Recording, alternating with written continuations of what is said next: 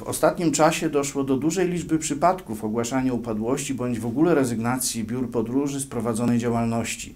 Szczególne zaniepokojenie Najwyższej Izby Kontroli budzi fakt, że niewłaściwie albo słabo chroni się podróżnych. Ponadto narażeni są oni na ponoszenie dodatkowych, dość wysokich kosztów.